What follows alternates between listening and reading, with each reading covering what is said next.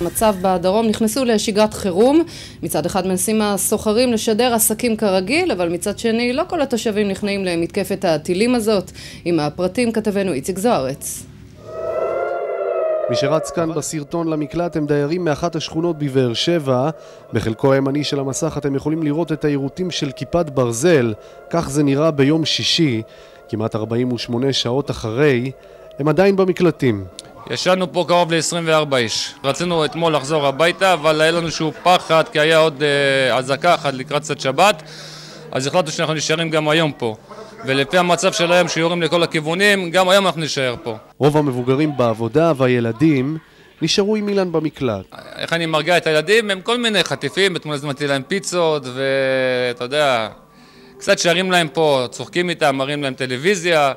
מי שלא נשארו במקלטים הם בעיקר בעלי העסקים בבאר שבע, שהיו היום כמעט לבד בחנויות שלהם. אה, קטסטרופה, נכון, למעשה משביתים כאן את כל המשק, מאתמול במוצאי שבת אה, הגענו לעבודה, ולמעשה חוץ מעובדים הייתה כאן שממה. פשוט אין הכנסה, פשוטו כמשמעות. אין הכנסה, יש הוצאה קבועה, העסק נפגע, העסק יפשוט רגל, מישהו צריך לשלם לדבר הזה. פגיעות ישירות נרשמו גם בקרב עסקי הלילה. מקום הבילוי המיתולוגי של העיר, מועדון הפורום, ניסה אתמול להמשיך בשגרה.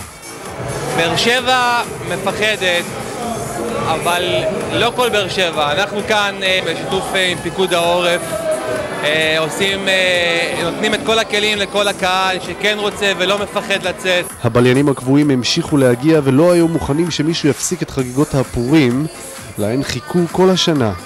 מת על הפורום, משוגע מטורף, ושום ערבי לא יעצור אותי מלצאת הליין הכי שווה בעיר.